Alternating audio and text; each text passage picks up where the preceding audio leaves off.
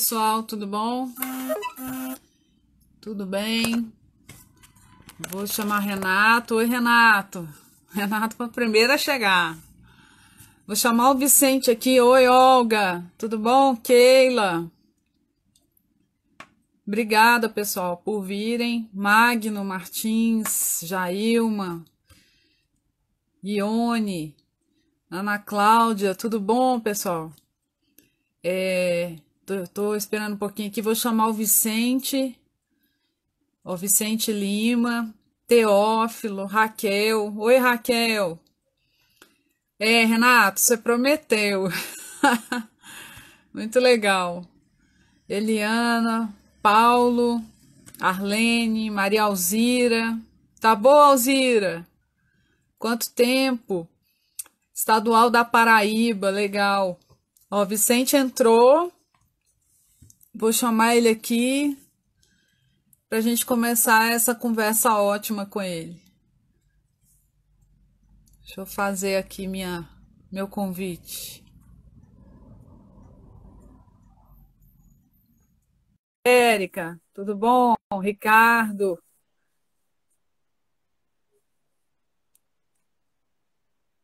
Ó, chegou, gente. Ei, Vicente. Ei, Ana. Beleza? Beleza, vamos ver se funciona, né? Minha internet está. Eu estou no 4G, minha internet muito ruim aqui. Vai dar, vai dar. Vou pôr um fone aqui para melhorar meu áudio. É, eu eu tô, eu tô sem fone. Mas, aqui.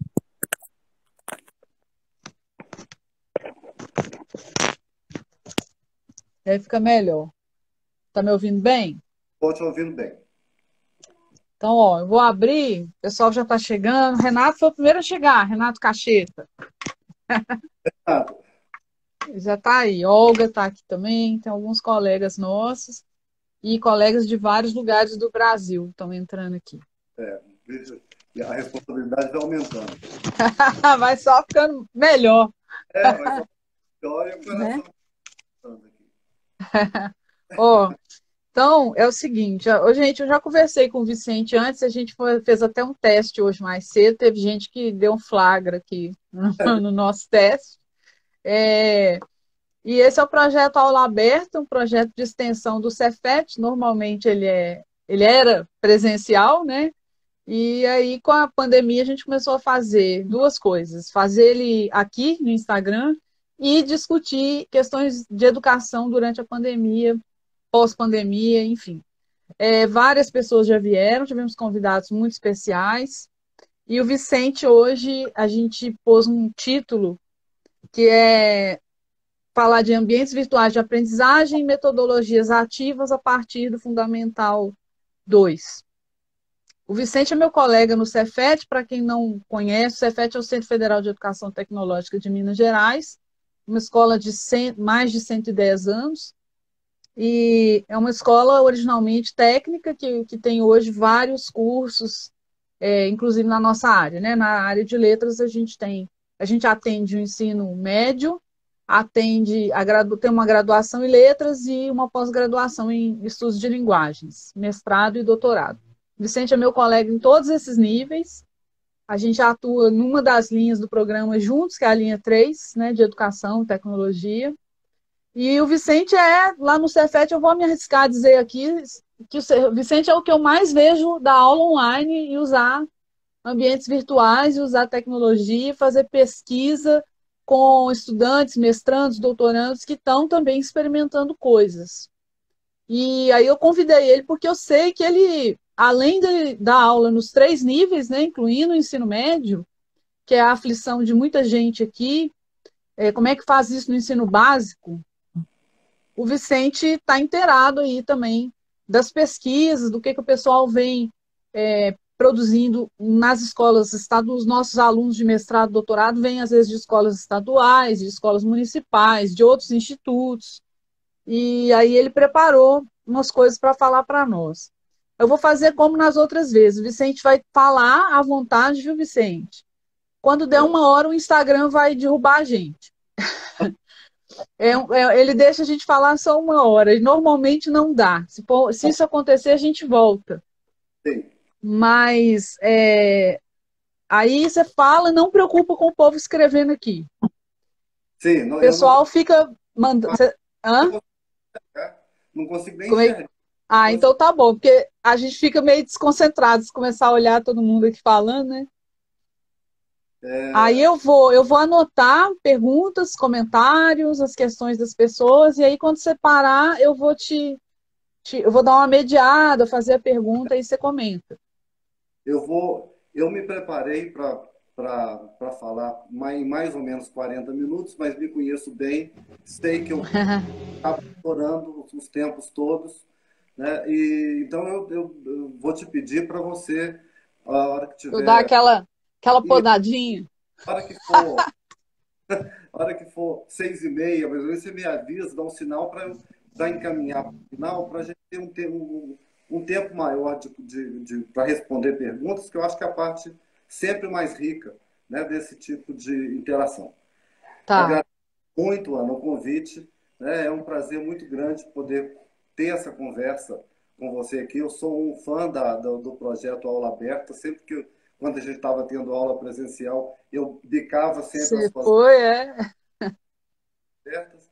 E, então é um prazer muito grande, principalmente nesse momento que, é, que dá para os resultados de pesquisa que a gente tem, tem feito do, nos últimos desde eu desde 2002 né então dos últimos 18 anos na verdade é, coincidiu que nesse momento é, a gente tem um, um, uma que eu estou chamando de dinâmica interacional, pedagógica, adaptativa complexa, de, de DIPAC, que é, é um, um, design que nós desenvolvemos com várias pesquisas de mestrado nessas disciplinas à distância que nós temos dado lá no, no Pós-Ling, é, e que eu, eu acho que pode ser um, uma boa referência para o professor de escola, da, da, das escolas de ensino fundamental para frente, até pós-graduação, é, porque nós chegamos num design bem simples,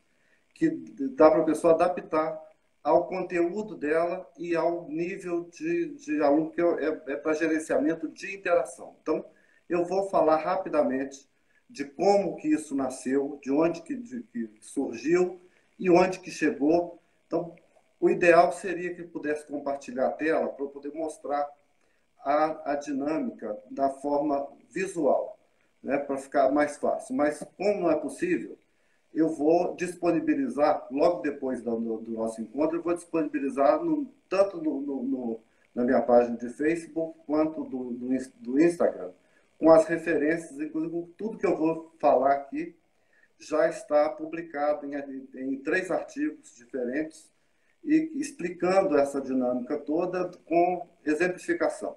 Né?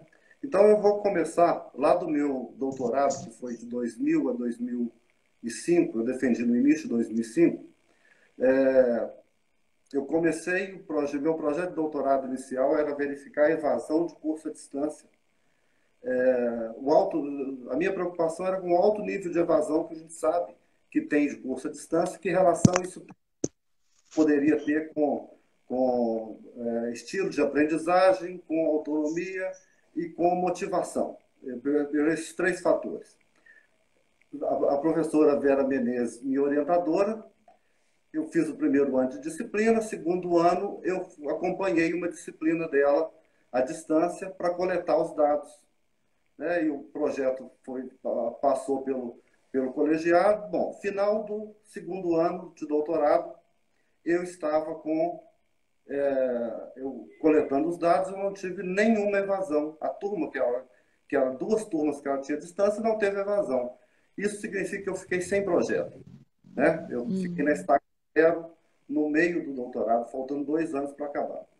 Eu entrei em desespero, ela também, e aí, conversando com ela, ela um belo dia, 15 dias depois, ela me chama no, no, no gabinete dela e fala, o que, é que você acha da gente lidar com complexidade?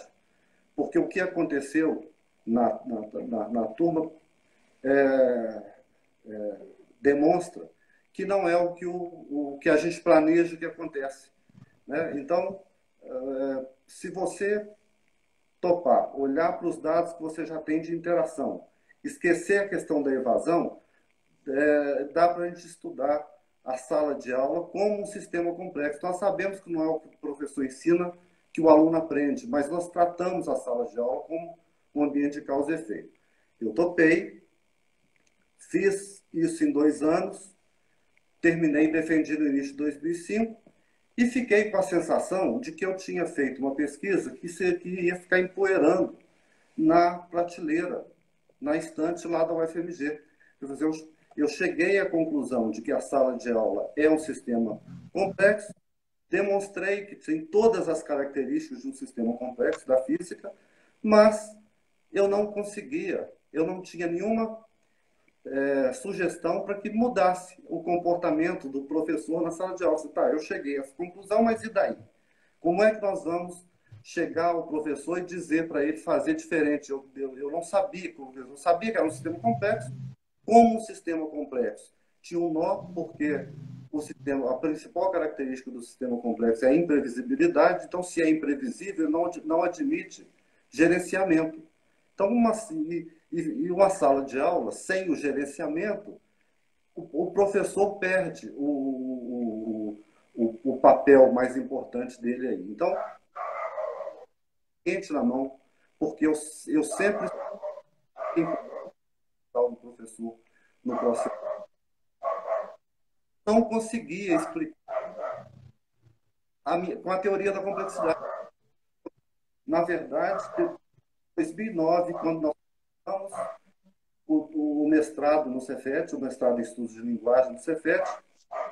É, nesse momento, eu comecei a perceber que eu, eu, eu aqui tinha feito o doutorado, não, não tinha que ficar empoeirando, na verdade. Então, é, você lembra quando nós começamos o mestrado, lá no Cefet, nós não tivemos coragem de ir para a sala de aula sozinhos. Uhum. Todos nós éramos recém-doutores, só tinha o Heitor, que era o, o, o sênior da turma, que, né? então é, fomos em dupla para a sala de aula. E eu, por, por acaso, fui para a sala de aula para disciplinas de metodologia da pesquisa com o Heitor.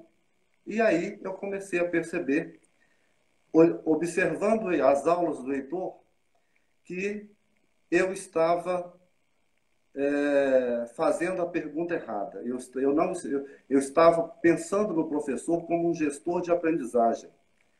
Só que nós não nós não gerenciamos, como professores, nós não gerenciamos a aprendizagem, porque nós não sabemos como que se dá o processamento cognitivo ainda. Nós não temos conhecimento suficiente para isso.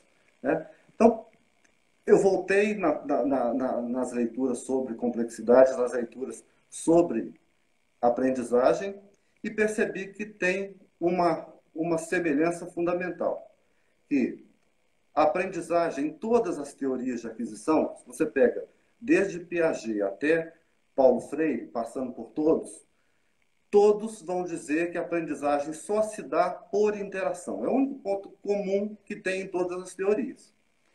É, e o sistema complexo, é, ele só evolui por interação dos elementos também. Então, o que ele tem em comum é a interação. Então, o professor não gerencia, professor não gerencia a aprendizagem, mas como a aprendizagem se dá por interação, interação é possível gerenciar.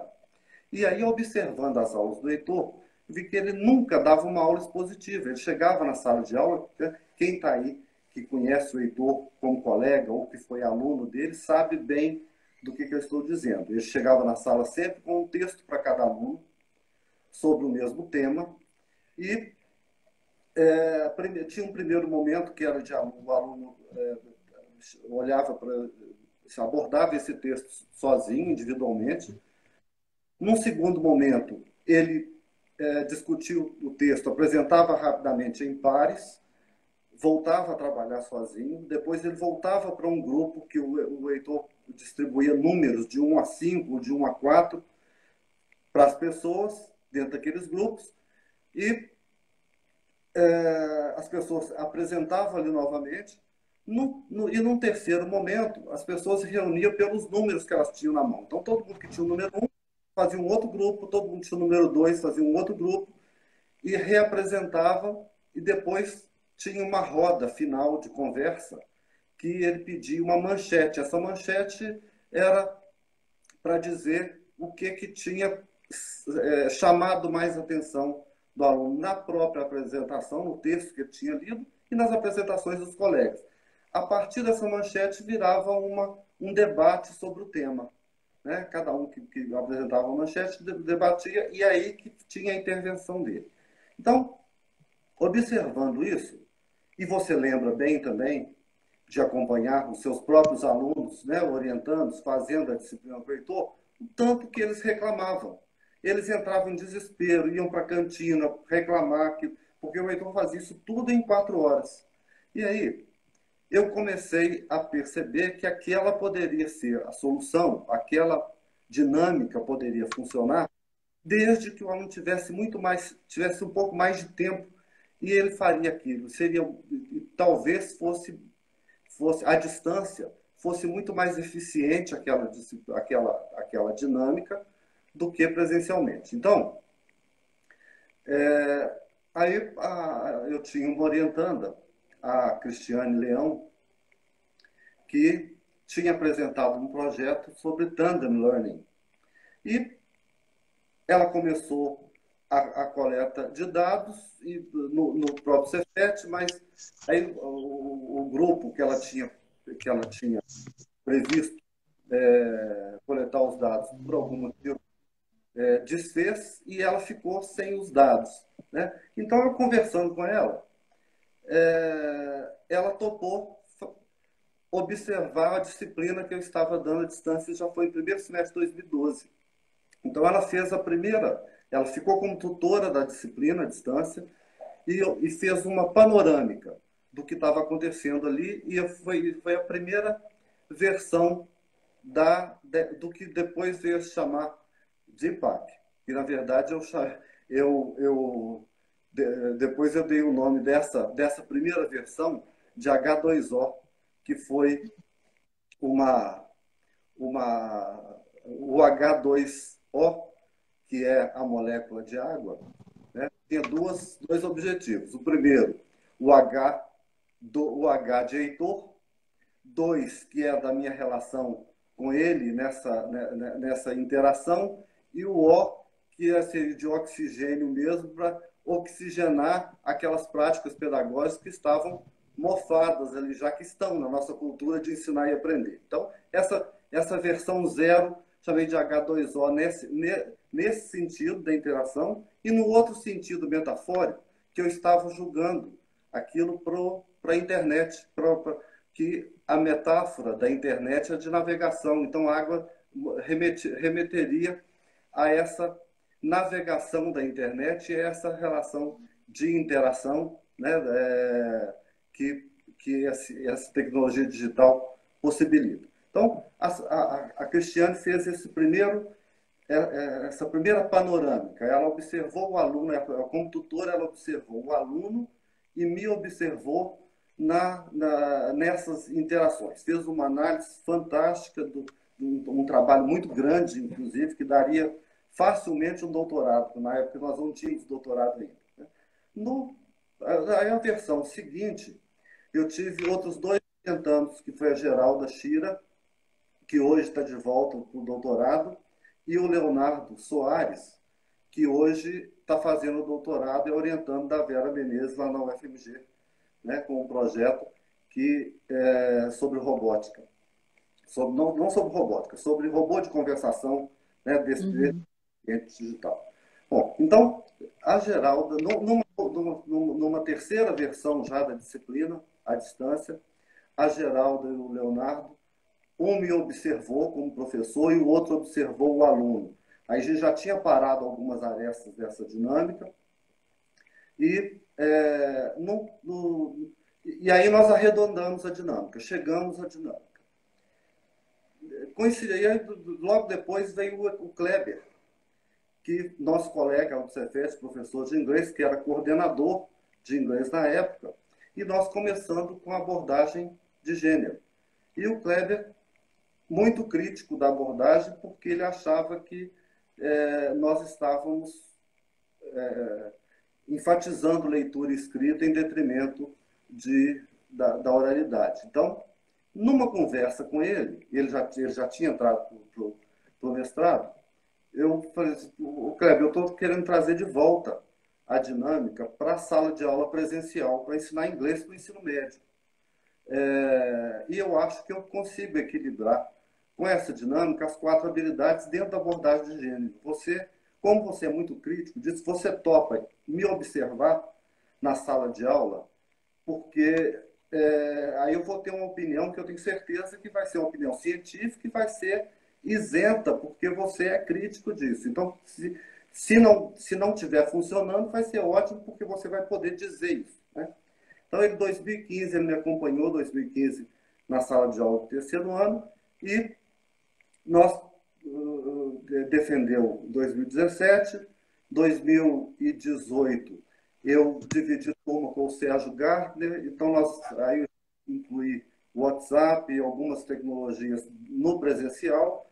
E, bom, resumindo, chegamos hoje ao, ao, ao a, a dinâmica que está pronta para que o professor possa é, ele, ele, possa usar na sala de aula e usar nesse momento principalmente que nós, pandemia nós chegamos num momento de, é, de turbulência máxima aqui no, no, nos sistemas caótico, a gente chama de limite do caos.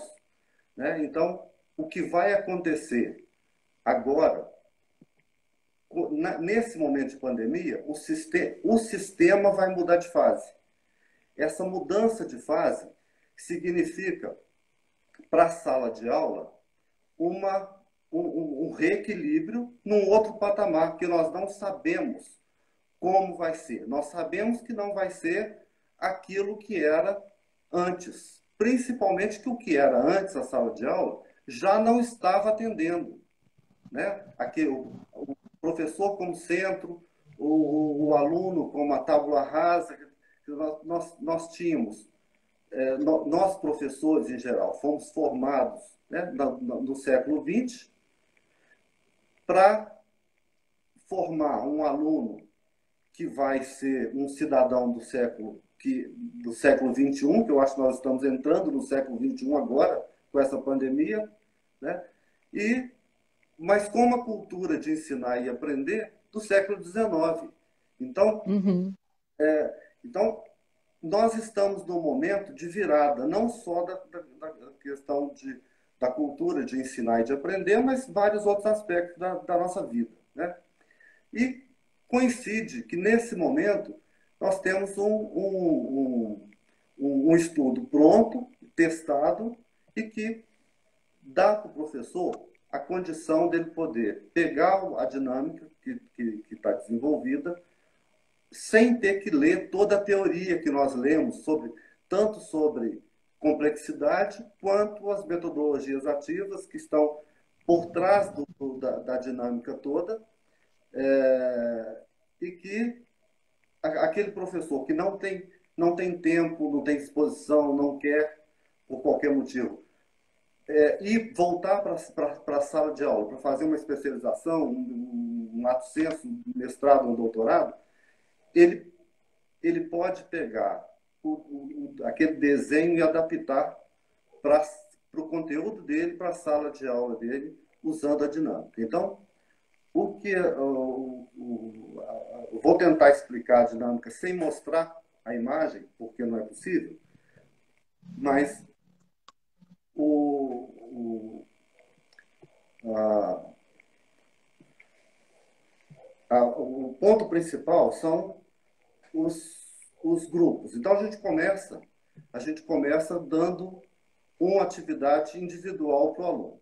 Então, vou, eu vou usar o, o caso do, do inglês para poder ilustrar, mas que qualquer outro, outro tema pode ser é, adaptado. Né? É, então, para ensinar por exemplo, no primeiro, no, no primeiro bimestre a gente está trabalhando com o gênero campanha publicitária, eu, eu mando um link, dou um link para cada aluno sobre é, características de uma campanha publicitária. E eles leem individualmente. É, esse é o primeiro momento que está de acordo, a, a, base teórica disso é a proposta da hipótese interacional de, de Long e de, e de que pressupõe é, três tipos de interação, que é a interação com o objeto de aprendizagem, a interação é, interpessoal né, e a interação, que é esses dois tipos de interação sempre paralelo a um, terceiro, a um outro tipo, que é o intrapessoal. Essa interação intrapessoal é que toda, todo o, o, o conhecimento que, que se produz a partir da interação com o objeto, com o meio ou com o outro, é sempre filtrado pelo, seu, pelo conhecimento prévio, pela nossa cultura. Né? Então, nós só compreendemos o mundo a partir do conhecimento que nós já temos. Então, essa é a base da, da, dessa, dessa proposta de interação.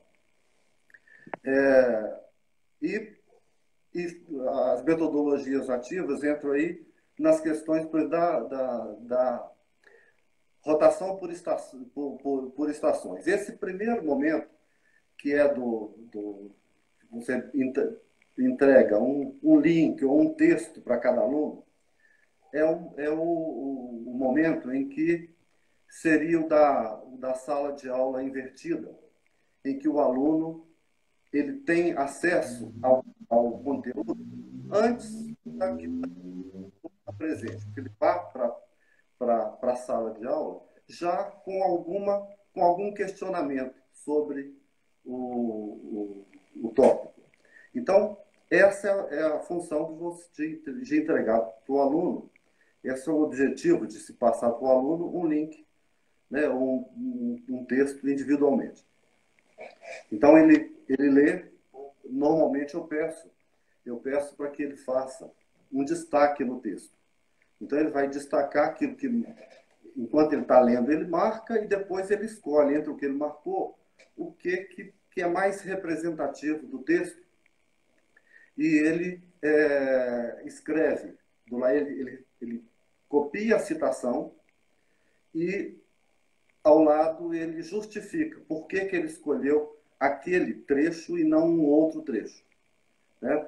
É, isso faz com que ele reflita sobre o texto que ele leu. Então, ele, feito isso, esse, esse, nesse primeiro momento, é, o segundo momento ele vai reunir grupos que eu, eu vou eu, eu distribuo números de 1 a 4 para o grupo A, a, os alunos que receberam número 1 a 4. Grupo B, também alunos que receberam de, é, texto, números de 1 a 5. Eu posso, você pode numerar o próprio texto se você estiver entregando o texto impresso. Não faço isso. Eu, eu, eu já tenho. Não uso é, texto impresso, impresso. Inclusive, isso é uma forma de economizar árvore. Né? Para o aluno de ensino médio, isso é tranquilo. Eu mando o link para ele pelo e-mail da turma. É, e ele lê na tela sem o menor problema. nunca tive nenhuma reclamação de que é, a letra estava pequena, que não conseguiu conexão. No Cefetes tem, o aluno tem Wi-Fi, então nunca tive problema com isso, né, de, de, de da conexão e, e nem da, da, leitura. Com alunos já tive aluno reclamando que não conseguia ler, se podia imprimir. Né? E a, o adulto que, que tem dificuldades para ler na, na, na tela. Bom, então, nesse, no segundo momento, o aluno ele reúne por grupos de trabalho, que eu chamo de grupos de trabalho, é, pelos, pelos números, de 1 a 4. Então, eles vão apresentar para os colegas aquilo que eles destacaram. E os colegas recebem uma planilha, que, que normalmente eu disponibilizo essa planilha pelo Google Drive, os alunos entram e avaliam as apresentações dos colegas e a própria, avaliação, a própria apresentação. É uma avaliação bem simples. Ele, ele avalia se, se, a avalia, se a apresentação estava confusa, é, ou se estava clara, mas superficial, ou se estava clara e com algum nível de profundidade, de reflexão. Então, esses três, tem, eles observam essas três categorias e, e, e atribui uma nota de, de 1 a 10 para pro, os colegas que apresentou e para si mesmo.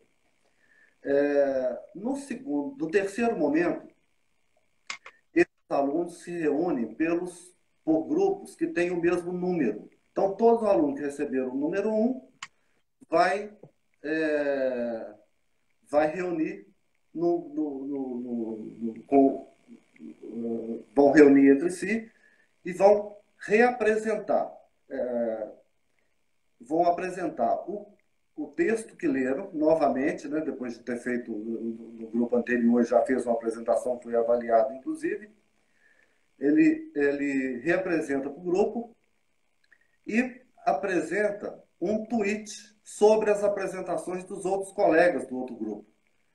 É, esqueci de falar isso. Então, no, no, no grupo 2, que estava reunido de 1 a 4, ele, além de avaliar o colega, ele escreve um tweet sobre que seria aquilo que o Heitor chamava de manchete. Lá, né? Então, eu falo, escreve um tweet sobre a apresentação do colega, ele vai sintetizar a apresentação numa frase curta.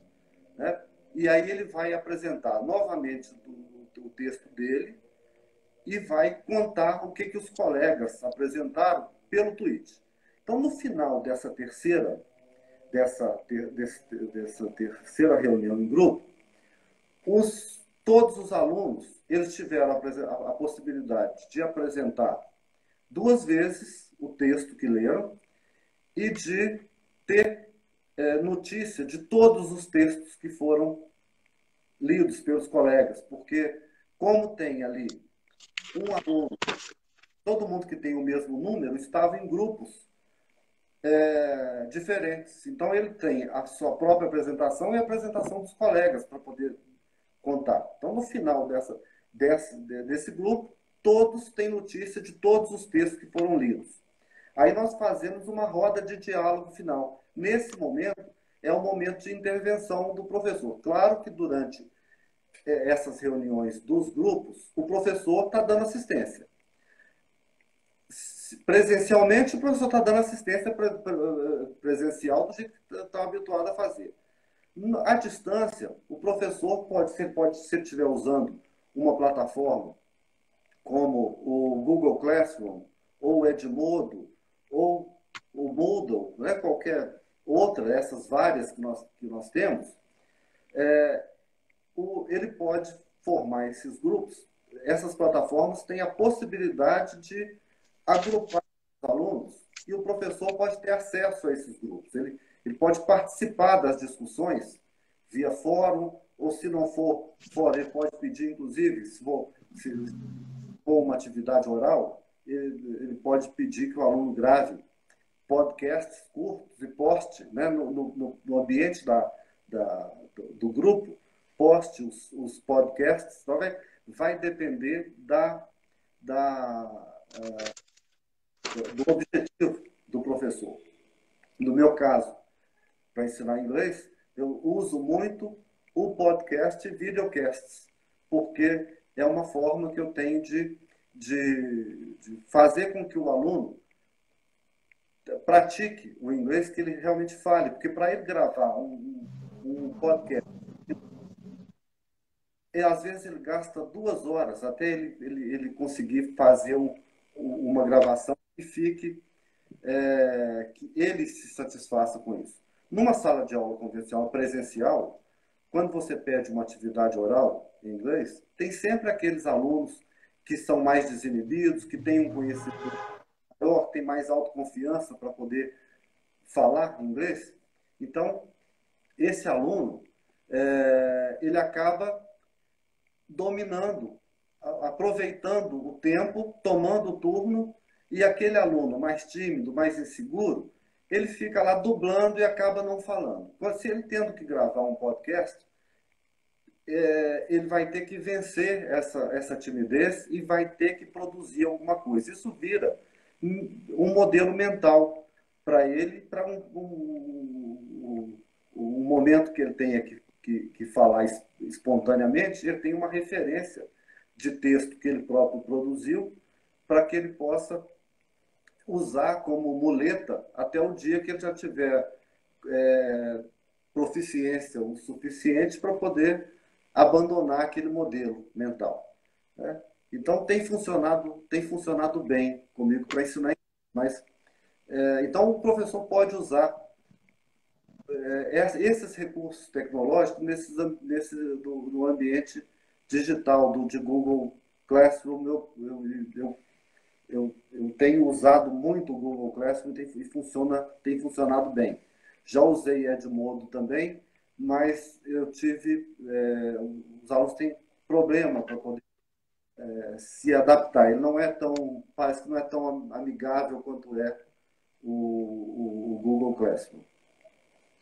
É, bom, então na roda, essa roda de conversa, ela pode ser feita via o, uma, pode ser uma aula online, por exemplo, é, como nós, nós, nós temos, eu tenho feito com a minha turma de pós-graduação, eu tenho usado o, o WebEx, mas que pode ser o Google Meet, né?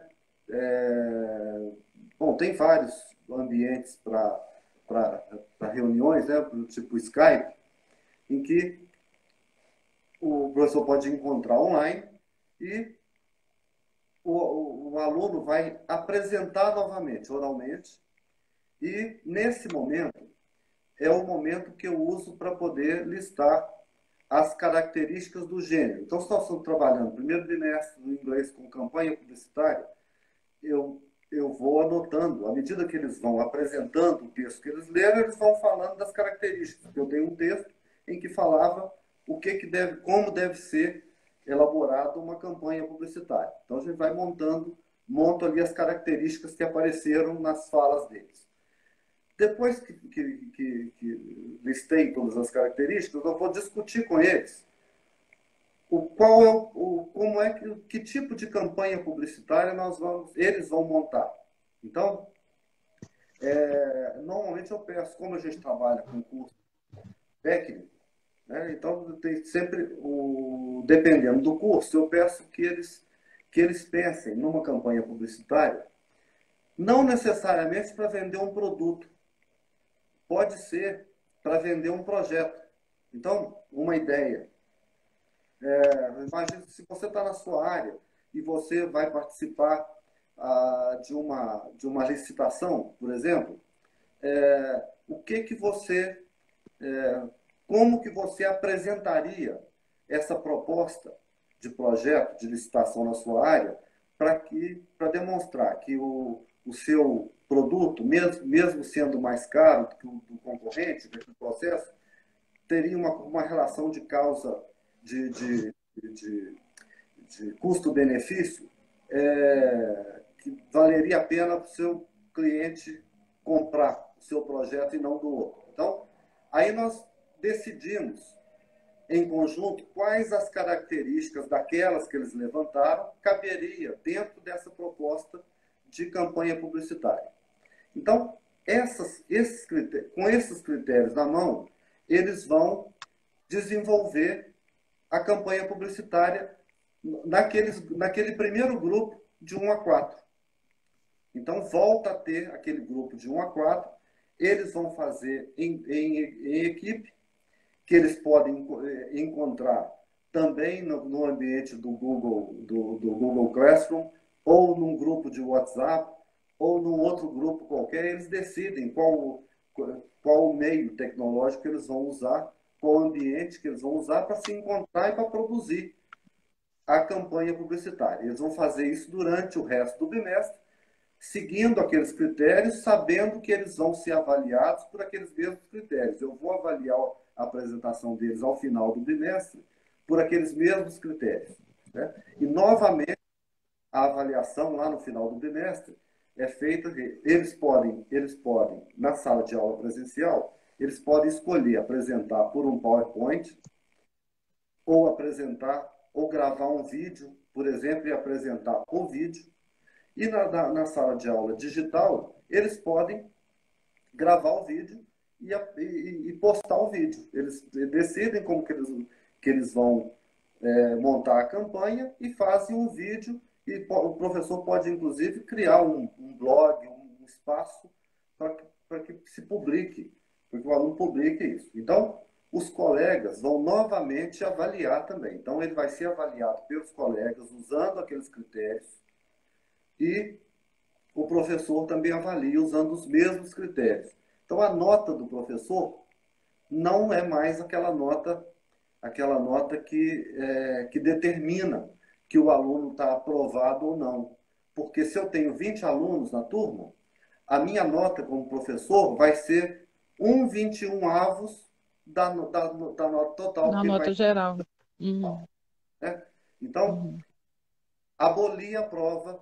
Né? Já tem cinco anos que eu não dou prova, de, a prova convencional, né? e é, o processo é todo avaliado o tempo inteiro né, porque essa planilha é usada para todas as atividades. Então, enquanto os alunos estão fazendo, estão fazendo essa atividade com, da, do, do gênero para apresentar no final do bimestre, o bimestre continua com a, o conteúdo do livro didático. Então, no livro didático, eu, eu, eu adoto a mesma dinâmica. Então, ao invés de pedir ao aluno que faça toda toda a unidade do livro, todas as atividades, eu, eu é, indico para cada aluno uma seção do livro. Então, ele não tem que fazer, porque quem é professor de inglês sabe bem que quando você pede o aluno para fazer as atividades do livro didático, dois ou três que são mais dedicados ou que, ou que, que, que, que têm mais motivação para a aula faz os exercícios, os outros copiam 10 minutos antes da aula sentado no corredor para poder correr e entregar para a gente lá na sala de aula. Então, acabei com, com, com, esse problema também, porque aí cada, cada aluno recebe uma sessão da, da uma, uma sessão da unidade para fazer. Como tem muito mais alunos do que sessão, as sessões vão repetir. Então, se eu dou uma sessão um para um aluno, aquele aluno vai receber o número 1 um, com a seção 1 um, e vai ter outros alunos com o número 1 um, com a seção 1 um também. Então, não tem isso, não tem se, se, se, o livro tem cinco sessões, eu distribuo lá de, de sessão 1 a 5, eles fazem, cada um faz uma sessão, e aí eles novamente vão. É, então, primeiro momento, individual. Segundo momento, eles reúnem um, dois, três, quatro, cinco, e reúne num grupo, cada um vai apresentar para o grupo a sessão que fez. É, novamente, aquela a planilha de avaliação. Né? Ele apresenta e os outros colegas vão, vão discutir o que cada um fez e copiar o que o outro acabou de fazer. É, eles o professor continua dando assistência em alguma dúvida que surge. Né? Não teve aula expositiva ainda. O professor pode estar observando que tipo de dúvida está surgindo, onde é que está surgindo problema. Se, se de repente ele perceber que nos grupos estão, estão surgindo o mesmo tipo de dúvida, ele pode parar a aula nesse, nesse momento e dar uma aula expositiva sobre aquele tópico. Não é? E isso pode ser feito eh, à distância também. Então, se você está acompanhando o trabalho dos alunos nos vários grupos e percebeu que tem erros recorrentes ali, você pode chamar uma aula online, né, um momento, um encontro online e para resolver aquele tipo de dúvida. Os alunos voltam a trabalhar e o objetivo deles é, ao final, do jeito que eles ao final vão apresentar o gênero textual, o produto, ao final dessa atividade com o livro didático, eles vão apresentar para a turma uma aula, como se fosse uma videoaula daquele, daquela sessão. Então, o terceiro momento de reunião, eles vão reunir todos que estão com a mesma sessão. Então, todo mundo que fez a mesma sessão vai reunir. Aí eles já, cada um estava num grupo diferente. Aí eles vão novamente eh, apresentar para os colegas. Eles vão apresentar e comparar o que foi que cada grupo decidiu sobre aquela sessão. E aí eles vão resolver algumas dúvidas com os colegas. É o par mais, mais competente lá do Vygotsky, né? E o, o, continua aquela avaliação da planilha. Né? Se, a, se a apresentação estava confusa, se estava clara e superficial, ou se, estava, ou se foi bem apresentado com, com, com, com grau de, de, no caso de exercício do, do livro, não é grau de reflexão, a não ser que seja um texto né, escrito, uma interpretação de texto. Vai depender do, do tipo de sessão.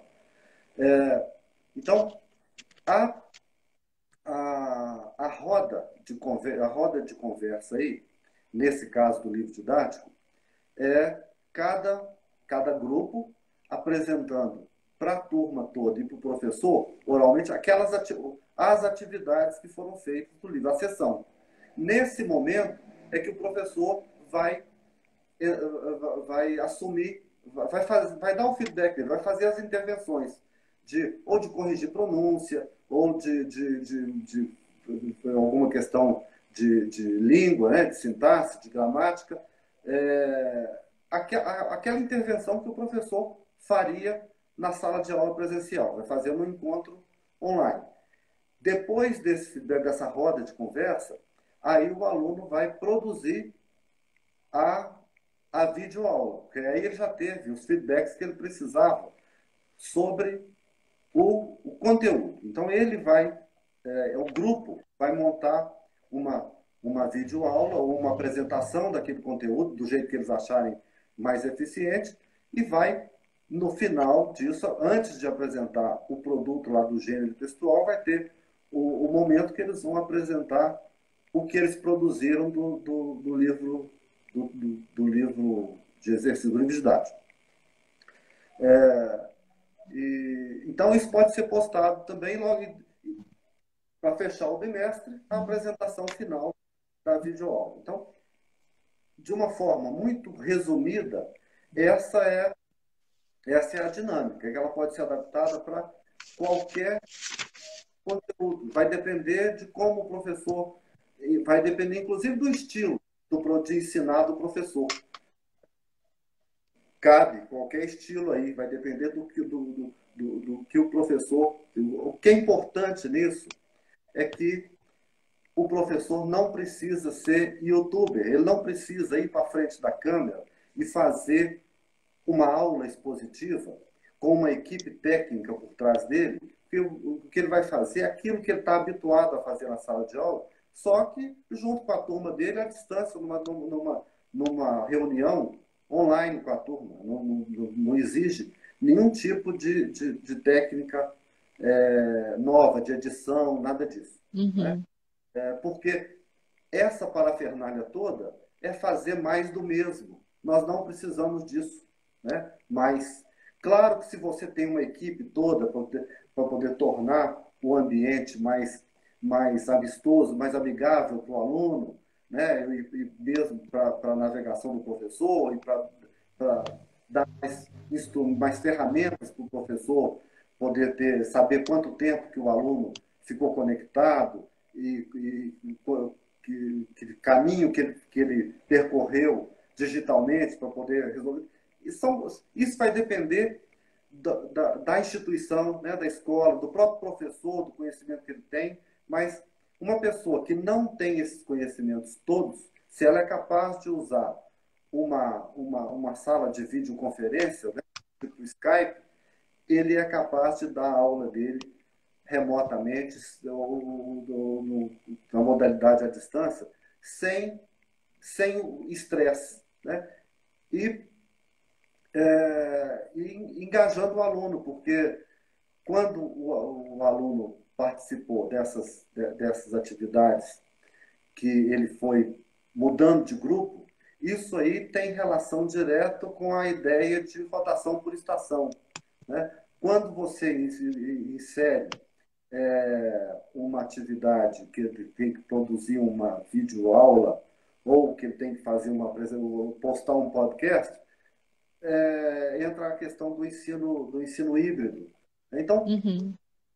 to, toda a base da das metodologias ativas que que, a, o que o que elas têm em comum, que são várias, né? a centralidade que se dá ao aluno, que é aquilo que a gente está falando há, décadas, né? de que o professor tem que sair do centro para deixar o, a, que o aluno tome autonomamente o, o gerenciamento do processo de aprendizagem. Então, quando você coloca o aluno, quando você dá para o aluno a chance de fazer isso autonomamente, é surpreendente a qualidade do trabalho que sai. Eles fazem, né? É, então, do, no, no, caso dos nossos alunos lá do ensino médio do Cefet, a gente, nós temos um aluno muito diferenciado, também temos do, do, do, do aluno da escola, da, da, da, escola em geral, né? até por causa da, da seleção que a gente tem para a entrada. Mas, independente disso, eu acho que quando você é, coloca na mão, joga a bola para o aluno, né, para que ele produza, é, e ele se sente parte daquele processo, ele fica muito mais motivado. Ele estando mais motivado, ele ganha autonomia, porque ele vai querer buscar. A motivação faz com que ele queira buscar. Quando ele, ele, ele está, ele ganha essa autonomia para buscar, ele fatalmente vai interagir, que é o ponto principal da aprendizagem.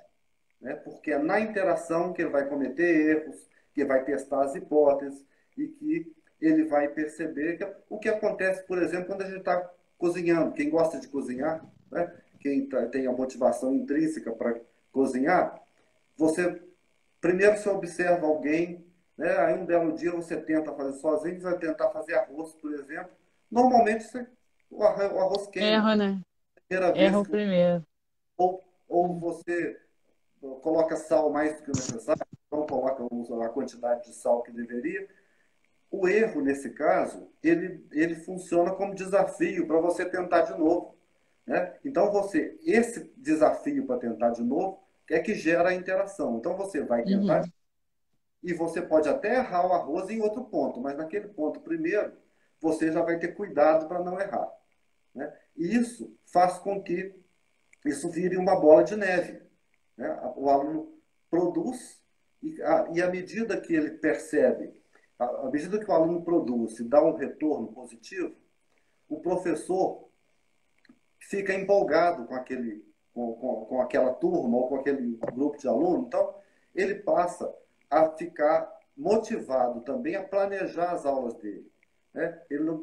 E à medida que o aluno percebe que o professor tem uma alta expectativa com relação a ele, ele vai querer superar essa expectativa. Então, isso vira uma bola de neve, e aí pronto, o processo não tem como dar errado. Né? Estando todo mundo motivado. Sei perfeitamente que esse é o mundo ideal, nós estamos longe disso. Né? Sei que eu estou falando aqui de um, de um, de um lugar que, mesmo que o nosso aluno de ensino médio, lá dentro do Cefet, ele tem acesso ao Wi-Fi, né? a maioria, talvez 100%, eu não, eu, nesses cinco anos, em várias turmas, eu nunca tive um aluno que não tivesse um celular que se conectasse à internet. Então, eu nunca tive nenhum problema para que ele usasse o celular. Mas eu sei que hoje, que estão todos em casa, nós temos pelo menos 30% do nosso aluno que não tem acesso à internet, mesmo que tenha um telefone uhum.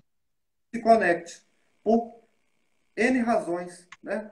Então, esse eu sei que esse é um grande problema, mas esse problema não, não cabe a nós, professores, resolver. Esse é um problema que é, nós temos que cobrar do governo. O governo é que tem que dar uma, uma conexão decente, dar acesso a uma tecnologia, já que o, o, o ambiente de sala de aula está mudando. Né? É... Vicente, Sim. são cinco para sete. Puxa vida. Então. Aí, não, o que, que vai acontecer? O, gente, presta atenção: o Instagram vai derrubar a gente daqui a pouco. nós vamos sair do ar sem querer, e aí nós vamos voltar e continuar a conversa. Então, vocês voltem, por favor, não sai todo mundo correndo, não. Igual aqueles recreios da escola, sabe? Que você dá o um recreio e sai todo mundo. Só volta um pedaço da turma. Bom, né? Pra, é, vou tentar concluir nesses cinco minutos, volta para poder responder as perguntas. Né? É, o, o, nesse momento, é, isso tudo que eu estou dizendo aqui tem, é, está em, em, três artigos que já estão disponíveis. É, tem um, um, um, livro online que foi, que foi é, um, é um e-book que foi produzido, foi organizado pela professora Vera Menezes e, e, e, por mim no nosso num grupo de pesquisa que eu faço parte lá na UFMG que chama Lalintec, que é Laboratório de pesquisa em, em linguagem e tecnologia.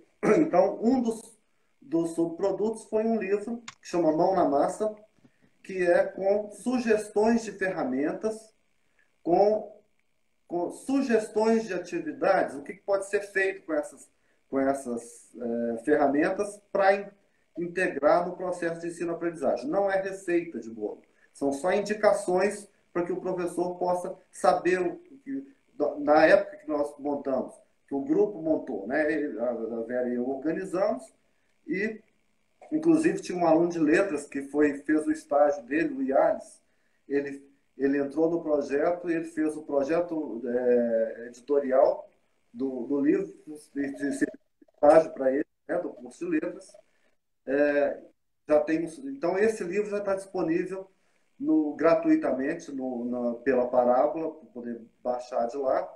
E tem um outro no forno, o volume 2, que está saindo por esses dias. Então, e, te, e temos, eu tenho que acabou de entrar nesse momento do Cefet, né, para o último, último processo seletivo, mestrado doutorado, é, um grupo grande de orientandos, tanto de mestrado quanto de doutorado, para é, investigar essa aplicação dessa dinâmica com, com professores de várias disciplinas. Eu vou citar um exemplo aqui da Geralda Shira, que ela é coordenadora de, um, de uma regional do Estado, né, da Secretaria de Estado de Educação, que tem 35 escolas, quase 200 professores, e ela vai coletar os dados dela com, com os professores dessas escolas que queiram participar voluntariamente. Então, a gente vai dar oficinas de, de, de apresentação dessa dinâmica para os professores se apropriar delas e ele vai, a, Geralda vai observar na função dela de, de, de, de da, da, na secretaria de coordenadora de como é que os professores lidam com essa dinâmica na sala de aula deles, porque até nesse momento quem foi observado fui eu. Então, uhum. eu é, a, a, possibilidade de não dar certo é quase zero, porque eu estou imbuído disso. É, um, é, é, um, é, é, resultado de uma pesquisa de 20 anos, desde 84 que eu estou na sala de aula. Então, é, o, o, essa, essa dinâmica, apesar de ser uma pesquisa que começou em 2011, ela carrega todo, tudo que to, toda a, a, minha cultura de ensinar e aprender uhum. está também, né? Então, eu quero ver como é que isso funciona agora na mão do, do professor. Do professor de, que, que não tem essa. É, é, é, é, que não está imbuído disso, né, do jeito que eu estou. É, então, eu estou dizendo isso, inclusive, porque se tiver algum professor que a Geralda vai fazer o contato depois para poder fazer a coleta, para que eles é, saibam que eles estão contribuindo com um projeto grande que pode ajudar mesmo a gente mudar a cultura de ensinar e aprender, que essa é a nossa.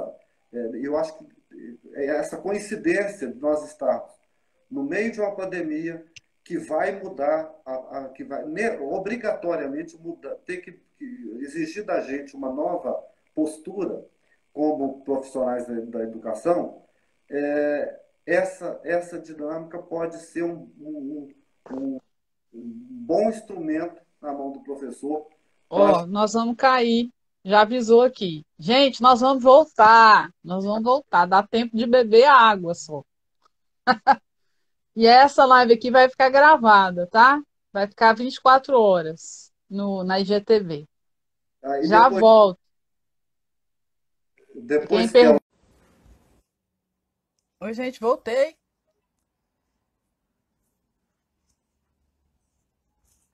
Boemia, aqui me tens de regresso. Voltei, gente. Deixa eu chamar o Vicente aqui de novo. Vamos ver se ele já tá aqui. Eu não tô vendo ele aqui ainda não. Oi, Vicente. Aparece aí. Oi, gente. Vamos voltar. Agora eu vou partir para as perguntas. Eu anotei muita coisa aqui, que vocês falaram. Vamos ver se ele chegou aqui. Vicente, volte, por favor. Vicente Barreiras. Alice me zoando. Tô, lendo, tô, tem que cantar, né, Alice? Outro dia eu cantei o Roberto Carlos. Oi, Pronto, Vicente. Tava cantando o Nelson Gonçalves aqui, o pessoal tá me gozando. você tá brincando, né? Ai, Boemia, aqui me tens de regresso. Aqui, ó. Uma coisa que eu quero te falar é que o gato aí roubou a cena uma hora. Ah, Como é que é o nome do gatinho aí que tá atrás de você? Olha aí.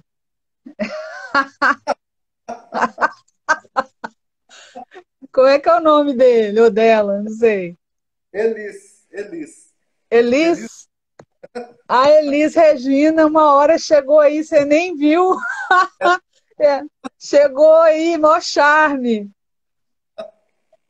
E aí todo mundo começou a falar do gato aqui.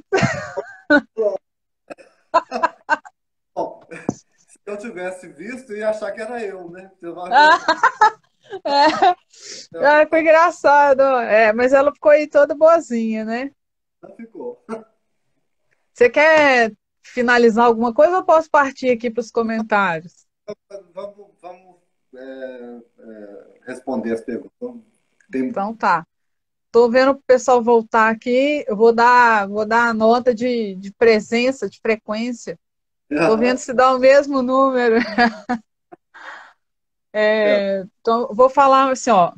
Eu não sei se eles já voltaram aí, mas nosso colega Renato Cacheta, uma hora, falou que você tinha que escrever um livro com essas coisas, é, que ia ajudar muita gente, várias pessoas concordaram com ele.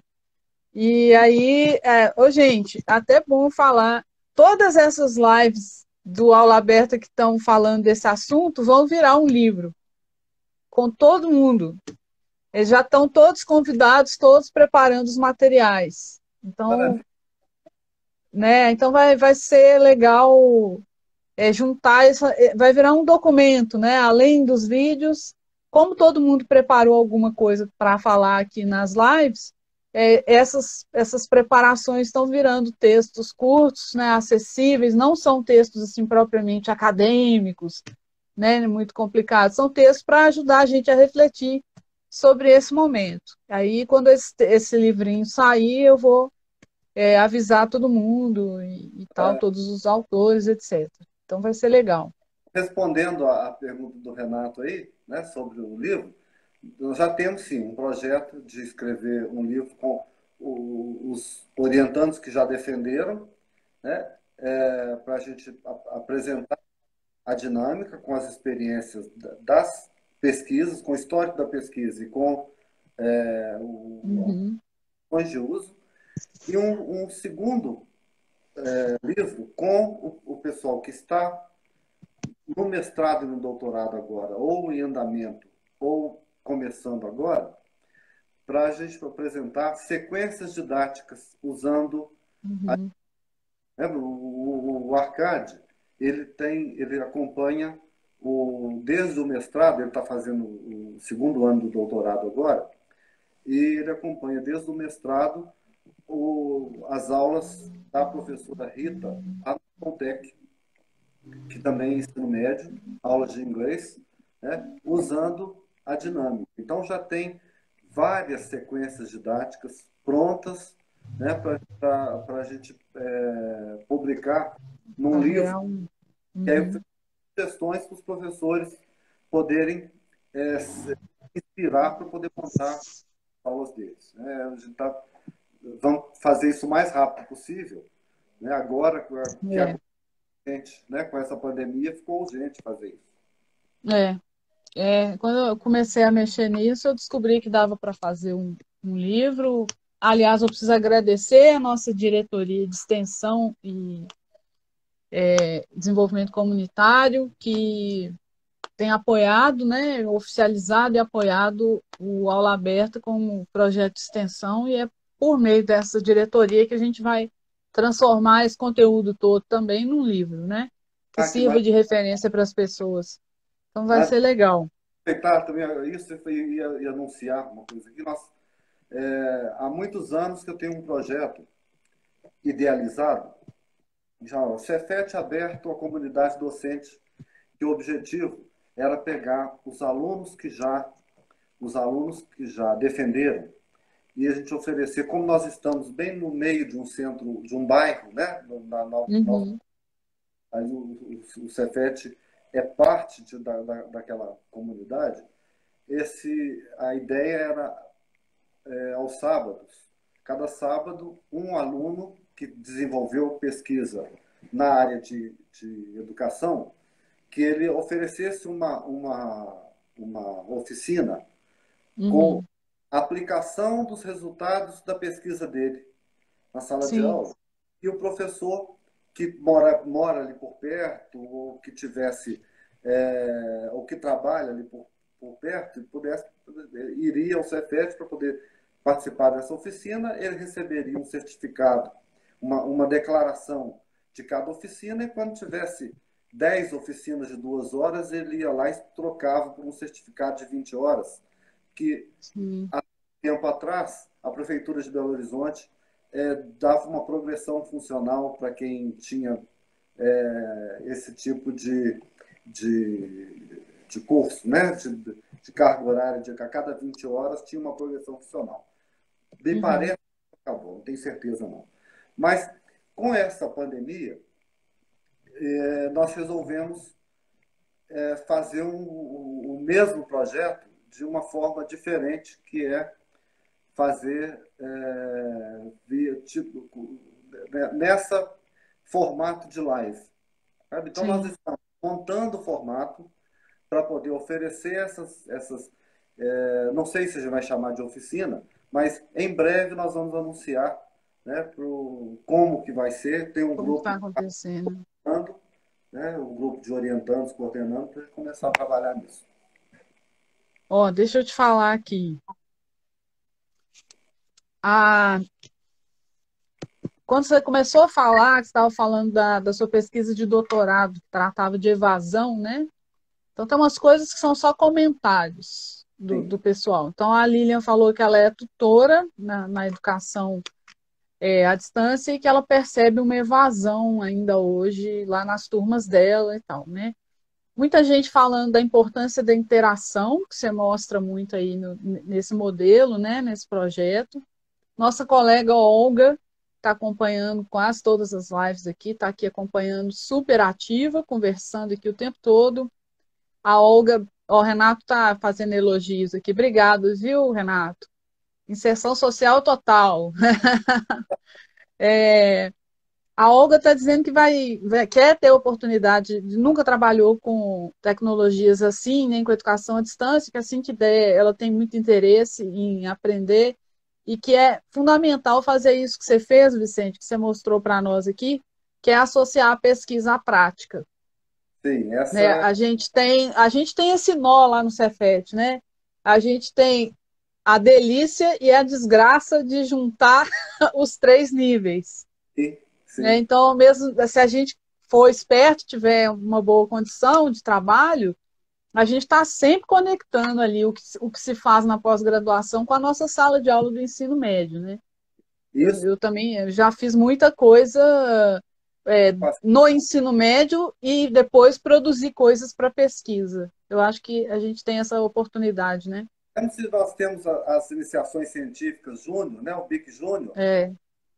é, tem projetos que eu tenho aluno de mestrado que orientando alunos de graduação, de PIBIC, aluno de PIBIC co-orientando aluno de BIC Júnior. Dos BIC Júnior, né? Então, uhum. então, faz assim, é uma, uma integração tanto vertical, o aluno do doutorado interage com o do mestrado, da graduação e do médio, quanto horizontal entre os cursos.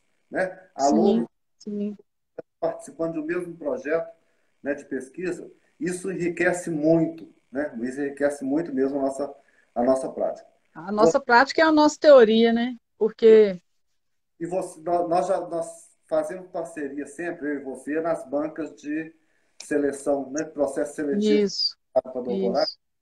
E uma das nossas preocupações é, nessas bancas é que proje os projetos aprovados sejam projetos que tenham é, relevância social. Né? Uhum. É inconcebível que numa universidade pública a gente faça uma pesquisa que seja pessoal, que vá ter implicação para o pesquisador apenas. Né? Então, Sim. essa é uma característica mesmo do nosso programa, pelo menos acredito, do, do programa de educação tecnológica que eu conheço eh, mais de perto, eu sei que é uma preocupação também. Acredito que seja uma preocupação geral dos outros programas, né, do CETES também. Essa é uma eu nunca, eu acho que eu sempre, as coisas que eu andei publicando, os livros lá da Parábola, todos têm, são práticas no ensino médio. Sim. Sempre tem alguma coisa que o ensino médio ensina para gente, né? Que os, que os, meninos ensinam para a gente. Então, né, é, é, lá, primeiro que não tem como escapar, todo mundo está nos três níveis. né? E segundo que a gente conseguir, se a gente conseguir fazer esse diálogo todo aí, é, é muito rico, né? Sim, sim. É, tem uma turma aqui de fãs seus, seus ex-orientandos, orientandos, falando que você é o melhor orientador do mundo. Então, Mônica, Silvane, Gustavo, um monte apareceu aqui. Eles estão, aliás, obrigada aí. O pessoal tem muito aluno nosso da pós, né? É, aqui teve por aqui, ou tá? Esses do, do ensino médio, que foi é, orientando naquele projeto do robô, né? E que já está terminando, já está no meio da graduação em mecânica lá na PUC, né? mas que está lá é, como voluntário no projeto de, de robótica até hoje. Então, são vários os alunos que começam na iniciação científica júnior e que vão, vão né? universidades, mas que continuam colados no projeto. Né? Isso, é, isso é muito gratificante né? para mim uhum. e, é, e, é, muito bom para eles, porque é, é, um lugar mesmo de, de, de, testar coisas. Né? Nós temos esse projeto Sim. de robótica há anos, esse é o objetivo não é construir o robô, não. O objetivo é que eles aprendam a, a, a, eles possam, eles têm um, um laboratório para aplicar os conhecimentos deles das várias engenharias, né? Já tive alunos sim, de todo sim. Curso técnico de todas as engenharias do projeto. Seu fã-clube está aqui, viu? Tá todo mundo. Você tá vendo um monte de coraçãozinho aqui explodindo aqui do lado? Seu fã-clube aí. É... A Nívia foi muito ativa, obrigada, Nívia. Também muito ativa aqui, fez várias perguntas. Eu vou te falar um, um conjunto de coisas que ela falou. Ela falou que a, a, interação faz muita diferença né, na aprendizagem, que tudo que você contou para nós aí tem mais a ver com uma mudança de método do que propriamente com tecnologia, né? Assim, a gente precisa mudar o jeito de dar aula e menos a tecnologia entra ou não entra, né? a tecnologia ela é, ela é fluida né? e ela é passageira. Então, aquilo que a gente fazia, o que a gente fazia usando Orkut, já virou pré-história. Não é? Então, pessoas pensam, olham para. Quando a gente fala tecnologia, as pessoas pensam em tecnologia digital. Elas esquecem que GIS é tecnologia. Né? Que na, quando eu, eu fiz curso de letras, que não tem tanto tempo assim, porque eu já fui fazer o curso de letras velho, né? É, eu, eu, terminei o curso de letras em 93, a gente tinha uma, uma, uma disciplina, que eu tinha uma aula específica dentro de uma disciplina que chamava Prática para Concurso. A gente aprendia uhum. o GIS e o quadro. como, como, como dividir o quadro em partes, como escrever, que você não pode é. dar as costas para o aluno, que você tem que apagar o quadro de cima para baixo, para não espalhar pó de giz pela sala inteira, porque o giz caia dentro daquela canaleta. Então, são coisas que hoje a gente faz, hoje na formação de professor, faz com a tecnologia. Como é que você deve inserir a tecnologia? Então, nós temos redes sociais. Redes sociais é uma coisa que está aí para ficar. Vai mudar. Pode ser que daqui, daqui a alguns, alguns anos a gente não tenha Facebook mais, mas vamos ter outra coisa que, que Sim. nós não temos o Orkut mais. Né? Então, o foco, o foco do ensino da aprendizagem tem que ser na interação, porque é isso que promove a aprendizagem. Quais instrumentos você vai usar aí vai depender do que, que tem disponível, o que, que é melhor. É, depende do, da época, depende da sua escola. É. Paulo Freire dava aula espetacular debaixo do pé de manga, sem nem giz, nem quadro. É, né? É, então, é. tecnologia, curso tecnológico que você tem na mão, ele é o menos importante. O que, o que, a diferença é como que você mobiliza o seu aluno, promove engajamento. Essa é a palavra-chave. Né? Então, se você é capaz de promover engajamento, a coisa anda sozinha. Né? Esse projeto de robótica, esse projeto de robótica, é, em 2015, os alunos foram conseguiram o primeiro lugar na Mostra Nacional de Robótica é, e no, em 2016, segundo lugar. É, se você me perguntar o que é que eu sei de robótica, a resposta é nada. Eu não sei nada de robótica. Quem sabe de robótica são os meus alunos daqueles vários cursos que tem lá. E eles sabem disso, que o meu, o meu objetivo nesse projeto de robótica é com processamento de linguagem natural. Isso que me interessa, que é passe sintático, passe semântico.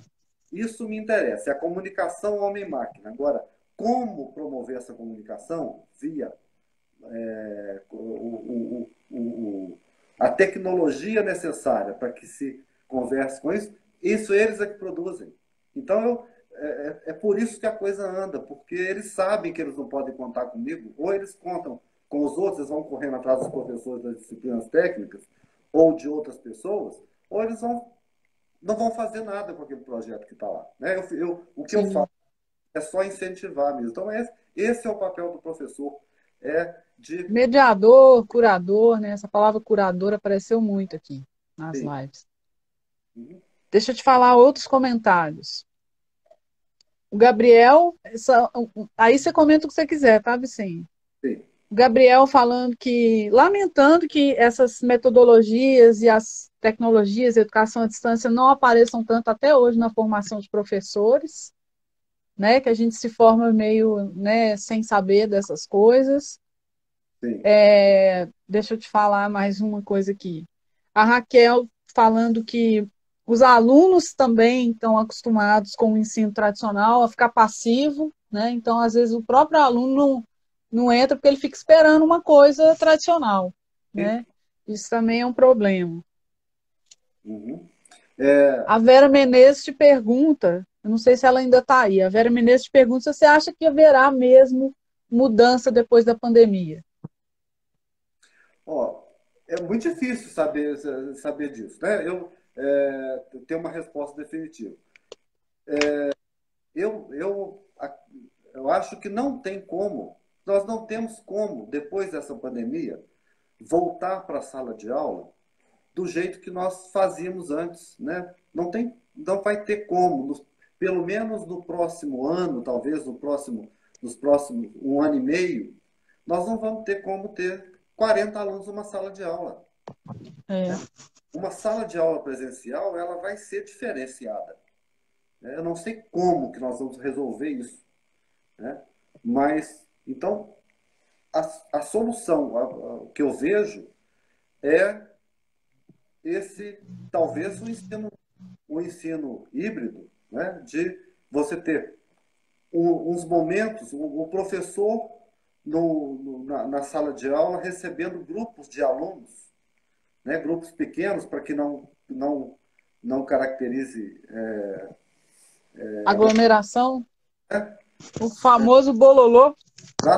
Então, eu não sei que vai ter uma mudança, pelo menos nesse início, vai ter. Né? E eu acho que, tendo esse primeiro movimento de mudança, mesmo que a gente possa voltar a aglomerar numa turma de 30 alunos, eu acho que depois que o professor experimentar uma forma nova de fazer e que fica mais, mais eficiente e mais eficaz, é, a prática dele acaba mudando.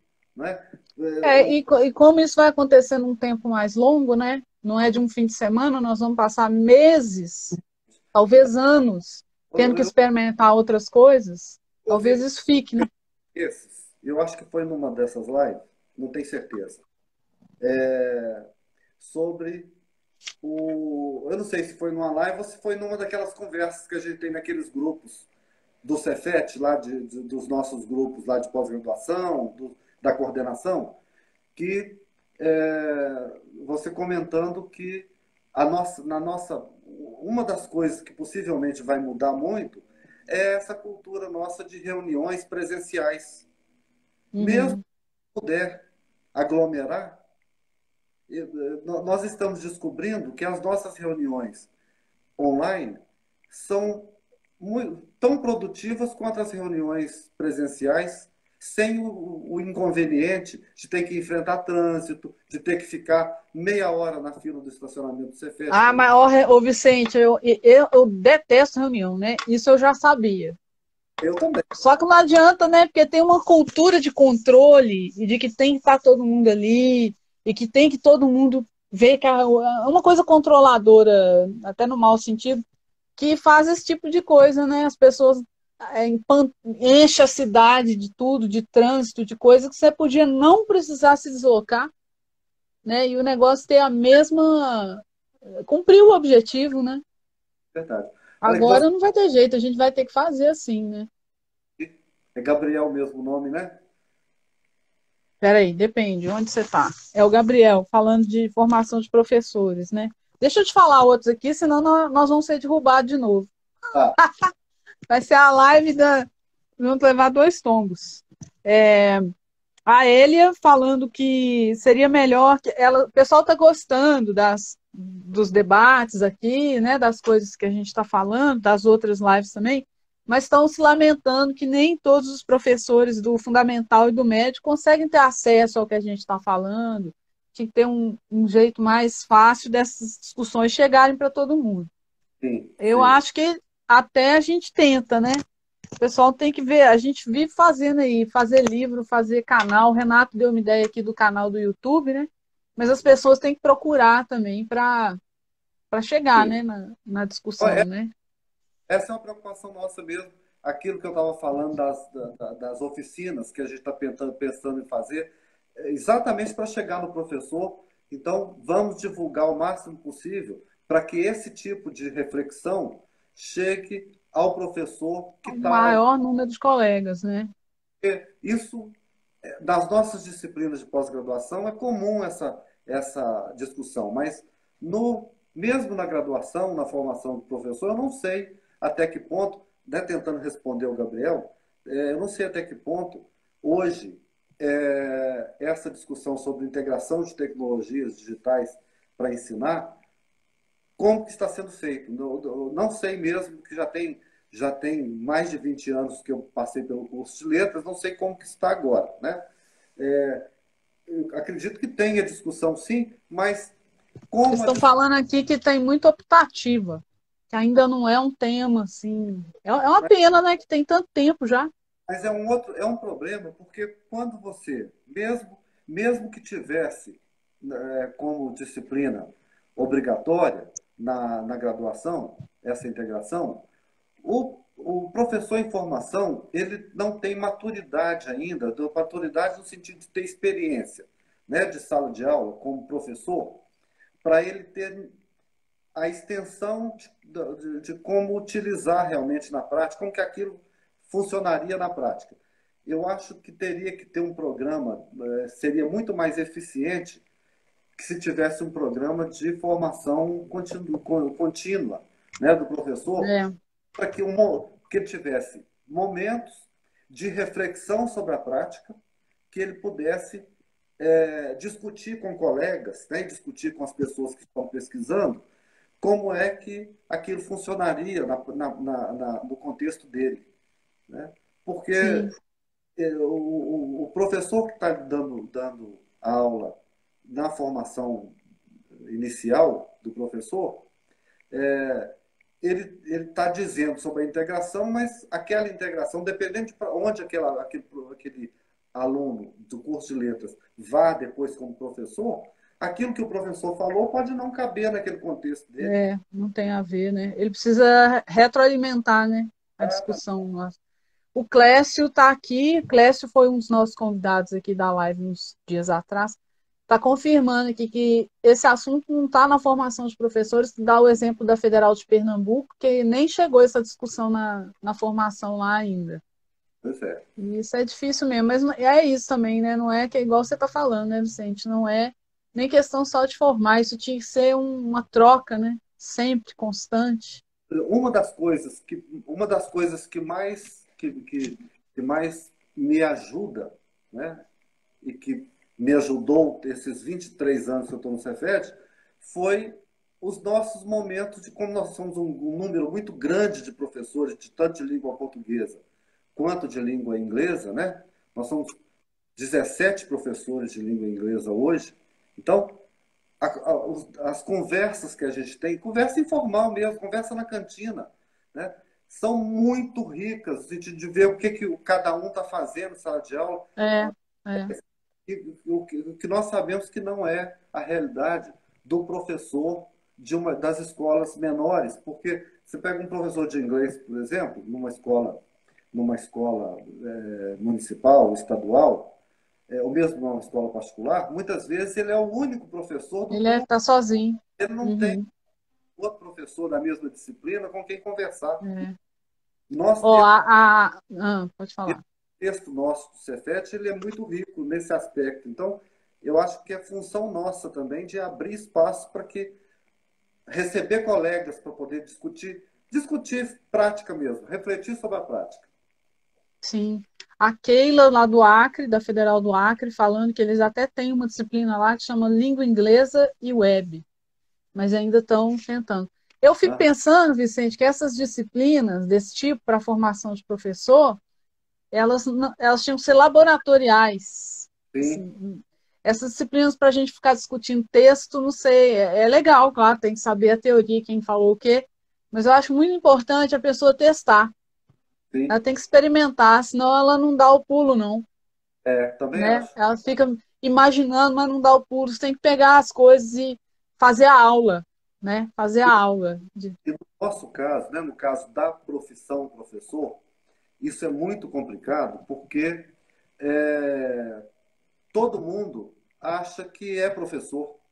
O fato Sim. de todo mundo ter sido aluno a vida inteira, de ter estado na sala de aula o tempo todo, então tem a falsa impressão de que dar aula é um processo trivial, uma coisa trivial. Você pode, qualquer um pode entrar na sala de aula e dar uma aula. Então, isso dificulta é né? na, na, na própria formação do professor, até esse professor é, ele se convencer de que ensinar não é um processo tão, tão óbvio, né? É, demora um bom tempo, às vezes demora a vida inteira. É. Deixa eu te falar mais, ó. O Sérgio Gartner, nosso colega, e outras pessoas, tipo a Daniela Malta, perguntam o Sérgio estava falando que era muito importante ler sobre complexidade. E aí a Daniela pergunta se você indica algum texto, algum livro, alguma coisa sobre complexidade para o pessoal ler. Indico, né? Indico. A Vera, a Vera Menezes tem um livro organizado com o Milton do Nascimento, que nós inclusive colocamos no processo seletivo, né? De, de Sim. No último processo seletivo, no penúltimo processo seletivo, parece, com complexidade, que é, tem vários né, é, textos de vários pesquisadores da área de complexidade, muito voltados para ensino e aprendizagem. É, é, não vou lembrar o nome do livro agora, Mas... De repente a Vera está aí, ela lembra, ela escreve aqui para nós. Mas eu sei que livro que é. Ah, é então indico esse. É, pra, pra, tem um livro da Larsen Freeman, que foi lançado em 2008, né, que, que é seminal também. Um artigo da Larsen Freeman de 97, Princípios de é, a, a, Teoria do Caos da Complexidade aplicada ao ensino de línguas. Né. O Morin, Edgar Morin, que, que fala sobre, sobre é, o pensamento complexo, né? É, não só para sala de aula, mas principalmente para aprendizagem. Então, são os autores principais. O Lefa tem, tem várias publicações também sobre complexidade. O, o Wilson Lefa, lá da, da, da, Universidade Católica né, de Pelotas. Uhum. Rafael Vetromilli. É, Aqui, ó, sistemas adaptativos complexos, linguagem e aprendizagem. Isso, isso mesmo. É, o Teu Esteves e a Vera colocaram aqui. Gente, é só copiar aí, ó. É um livro de 2009 da Faculdade de Letras, reeditado pela Pontes em 2011. Né, tem, tem vários textos ou complexidade da Vera disponível na página dela, né?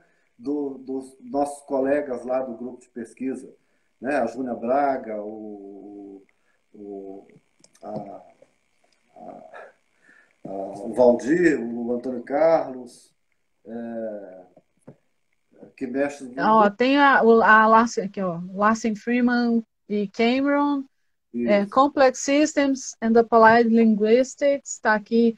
É, gente, é só olhar aí os dos colegas, que todo mundo está colocando os nomes dos livros aqui. Aí vocês dão uma olhada. É, a, deixa eu ver mais aqui, a Genita falando que tinha que ter mais investimento de infraestrutura das escolas, né? Computador, internet boa. A gente estava discutindo isso em outras lives aqui. Nem é, nem é questão tanto da escola, né? É, isso era uma questão das cidades, né? Isso era uma questão de governo, igual você falou aí. Essa infra ela tem que ser geral. E ela não foi, né? Então, e hoje, na pandemia, a gente não poderia imaginar, né, Vicente? Mas na pandemia não ia adiantar a escola ser equipada, não. Não ia, não. Não ia adiantar nada mesmo, não. Ia estar tá tudo lá trancado. É. Então, né? é, então pós-pandemia, pós-pandemia, eu acredito que nós vamos ter que fazer alguma coisa parecido com o que foi a biblioteca comunitária lá no início do século passado, né? Que além das bibliotecas escolares, tinha as bibliotecas, como nós temos em Belo Horizonte, a biblioteca pública na Praça da, da Liberdade, né, as bibliotecas públicas do, do, dos municípios, tem espaços públicos com Wi-Fi. Com acesso, né? Praça, tudo que tem lugar aí do mundo aí que qualquer lugar tem Wi-Fi, né? É, com, com, com o aparato tecnológico que conecte a internet com facilidade para as pessoas usarem isso é, com facilidade né, para que é. tenham acesso a isso. Como fazer isso, eu não faço ideia, mas que tem que ter essa solução é urgente. Né? Ó, deixa eu te falar outros aqui. A Raquel falando que o professor tem que abandonar o posto de detentor de saber, né? É, Essa... Que é uma dificuldade também, né? Uhum. Sim, sem dúvida nenhuma. Uma das coisas que, que, que é, é o princípio fundamental né, das metodologias ativas. Quando você todas as metodologias ativas, né, você pensa o, o aluno está sempre no centro. A gente está discutindo isso desde o sócio interacionismo, da abordagem comunicativa, né, preconiza já o aluno como o, o, o sujeito da aprendizagem. Então, a, oh, a, tem um a, nome difícil aqui. Pode falar a Raquel Bambirra, nossa colega lá do, do, do Cefet, né, falou uma, uma, uma coisa uma vez numa reunião que eu, que eu tomei para a vida. É, e que ela diz o seguinte, que a, a, forma do, a melhor forma do professor saber que a aula dele foi boa é o nível de cansaço que ele sai da, da sala de aula. Se o professor sai muito cansado, significa que está fazendo tudo errado. Está fazendo sozinho, né? Tá fazendo só porque o trabalho de aprender é do aluno. Então, quem tem que sair cansado é o aluno. O professor não pode se cansar. Você está você tá ficando cansado é porque está tendo Está fazendo para eles. É. é. Ó, tenho, eu tenho uns nomes aqui das pessoas que são apelidos e tal, então eu falo do jeito que aparece aqui para mim. Javier Dascal. é, perguntando se esse, é, é, essa prática que você contou para a gente hoje, se ela pode ser presencial também. Pode, pode. Essa, eu comecei com ela à distância, que foi aquela que eu descrevi no, no curso à distância, com aluno de, de pós-graduação, né, do mestrado e doutorado do Cefet. E depois, em 2015, eu, que ela já estava redonda na pós-graduação, eu levei de volta para o ensino presencial para ensinar inglês. Né? Que foi aquela que eu descrevi aqui quando eu falei da, da, de trabalhar com o gênero campanha publicitária. Né? Uhum. Presencialmente, depois eu testei isso híbrido, e junto com o Sérgio Gartner, que está aí também, nós dividimos turma em 2018 e aí eu testei de forma híbrida, com parte presencial, parte, parte... principalmente. E o ano passado, 2019, eu fiz com a maioria das atividades à distância, no ensino presencial, que foi de propósito para testar com o ensino médio à distância, porque eu não tinha, nós não tínhamos. E o Vicente travou. Peraí, já vai voltar, gente.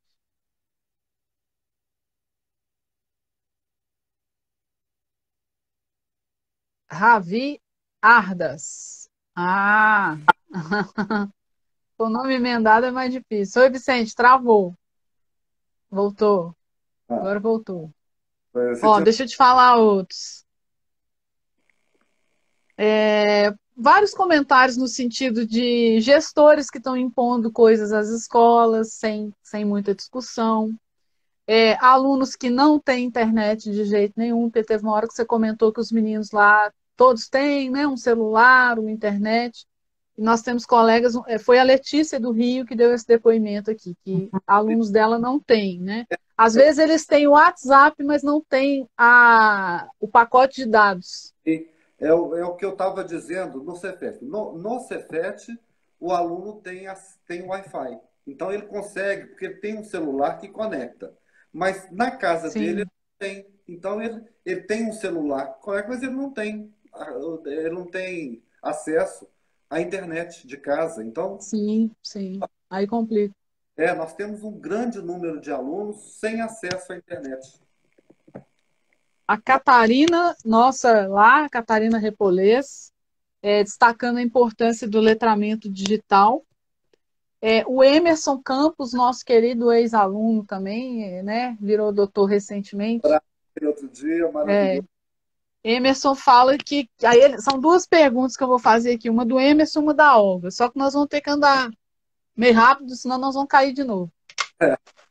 É, a Olga pergunta, nossa colega, quais os ambientes, ambientes que você indicaria, é, AVA, assim, que você acha mais legais? E o Emerson ele pergunta se você acha que pode ter um prejuízo da aprendizagem dos alunos nesses modelos que desconsideram a interação, que entregam coisas. Ó, nos modelos que desconsideram a, a, a interação, é, eu não acho que tem prejuízo, não. Não tem aprendizagem. É Nem simples. tem, né? Não é. tem. Tem aprendizagem. Se tem interação, tem aprendizagem. Né?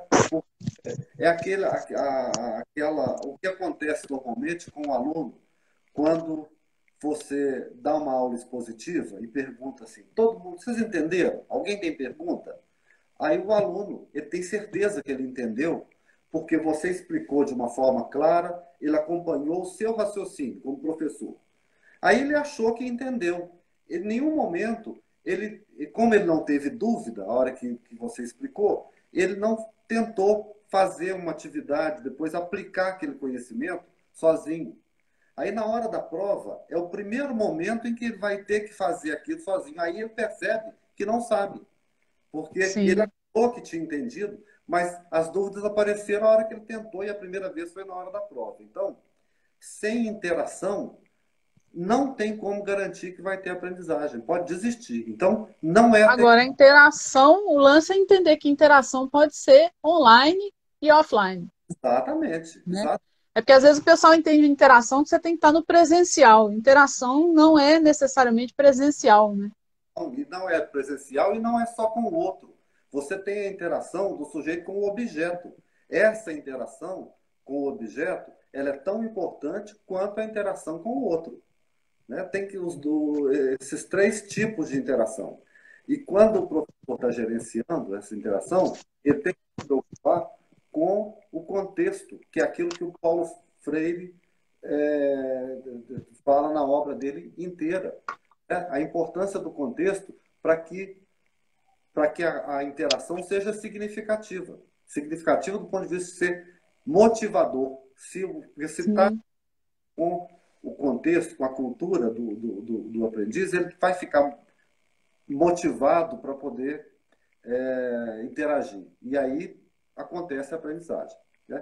Respondendo a Olga, é, sobre a pergunta do que eu indico, o que, que eu uso, né? Java que eu uso, eu, eu uso as coisas que o, que, o, que o meu aluno tem mais facilidade. Nesse momento, na, na, na no curso de pós-graduação, na disciplina de toda distância, é, eu estou usando Google Classroom, uso o, o WebEx, que poderia ser o Google Meet também, com a mesmo, que tem o mesmo tipo de, de recurso, é, para as reuniões online, e-mail, grupo do WhatsApp. Então, são as ferramentas básicas. E, e, Usa mais. e Google Drive, né, para poder. É, planilhas de de nota, planilha de, de interesse de aluno, para eu saber que tipo de texto mandar para os alunos. Então, é o que eu uso, basicamente. Mas eh, não tem como dizer qual ferramenta, qual ambiente é melhor. Eu tenho colegas que usam o Moodle com muito sucesso. Eu uhum. não uso Moodle, nem com, nem com aluno de ensino médio, nem, muito, nem com aluno de, de pós-graduação às vezes eu tenho três ou quatro alunos que são muito bons, né? tem muita facilidade com o Moodle, mas a grande maioria se sente perdido, não consegue interagir, não consegue usar. Então, depende muito do grupo que você tem. Né? A Vera pergunta se, naquela história dos meninos se avaliarem lá entre si, se eles participam numa boa, se eles ficam, não ficam meio incomodados de avaliar o colega, se tem alguma. No princípio, né? No princípio eles ficaram, sabe? Mas é, a, a, notícia espalha, né? A notícia espalha a hora que eles percebem que, é, que não tem, é, é, é que o colega não, tá, não está é, fazendo bullying com ele, e que a avaliação está sendo levada a sério, eles levam a sério. Eles vão, né? Então, eu não tenho tido. Eu tive problema no início no, no, no, primeiro, no primeiro ano que eu, que eu decidi que não ia dar aquela prova convencional, eu decidi, não, nós decidimos na coordenação que nós não, não, não teríamos a prova convencional. Depois, com o passar do tempo, alguns outros professores resolveram voltar para o modelo de prova convencional, eu me mantive no, no, com esse tipo de avaliação processual. Então, no primeiro que isso aconteceu, eu tive muita resistência dos alunos. Eles não conseguiam entender como é que eles seriam avaliados. Eles acharam que eu, que eu ia dar nota para a cara do aluno e tal. Ainda, à medida que eles foram participando, eles, aí eles foram se convencendo. Hoje não tem mais. E, e, de uma turma, isso passa de uma turma para outra, porque eles se comunicam o tempo inteiro, né? Principalmente para pegar a prova anterior do professor. É. Então, eles já chegam para mim, normalmente eu tenho dado aula para terceiro ano, eles já chegam para mim sabendo como vai ser o processo de avaliação, não tem tido problema nenhum, nem de, de estranhamento mais, e nem desse, de, de, desse problema de, do, do aluno se sentir constrangido por estar sendo avaliado pelos outros colegas. Pelo colega, né? O pessoal gostou muito do que você falou sobre avaliação falaram bastante aqui da. É, resumindo, né, Vicente? Escola que gosta de prova não vai conseguir mesmo. A gente tem que mudar de lógica, né? Mudar para essa lógica mais é, processual, que é uma coisa velha a gente falar que avaliação é processo, né? É, mas o povo não, não, não, não executa, né? Eu acho que a coisa mais difícil que a gente aprende é ler e escrever na língua materna. Né? E a gente aprende a fazer isso lá na, na, na pré-escola, aos seis anos de idade. E nesse, nesse período não tem prova convencional. Né?